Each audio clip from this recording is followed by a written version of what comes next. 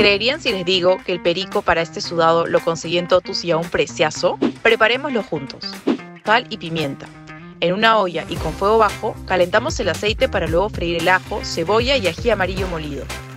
Movemos y vamos añadiendo el tomate durante unos 2 minutos aproximadamente. Acomodamos encima las porciones de perico y vertimos el caldo de pescado, la chicha de jora y el ají amarillo entero. Tapamos la olla y dejamos que cocine a fuego medio por 10 minutos. Finalmente agregamos el culantro. Servimos con nuestra guarnición favorita, arroz, papas o yucas, listos para que tú y tu familia disfruten de este clásico en casa y a unos preciazos.